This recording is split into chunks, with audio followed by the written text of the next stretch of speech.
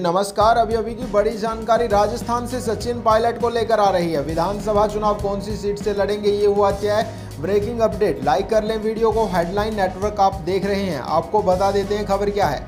फ़िलहाल सचिन पायलट को लेकर दोस्तों कई तरह की अफवाहें चल रही हैं। इससे पहले बताया जा रहा था कि सचिन पायलट अजमेर के नसीराबाद और मसूदा से चुनाव लड़ेंगे।